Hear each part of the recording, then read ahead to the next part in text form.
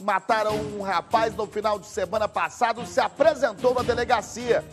Essa é a vítima, Carlos Almeida Palácios, 29 anos. O crime aconteceu no Parque Hortência. A vítima foi atingida por um tiro no peito. O autor do disparo, André de Oliveira Carvalho Arruda, de 31 anos, compareceu com um advogado e disse que foi até a casa de Claudemir para buscar a chave de uma obra na qual eles trabalhavam juntos e para acertar uma pendência. Ele disse que foi em legítima defesa. O caso agora será investigado pela Polícia Civil.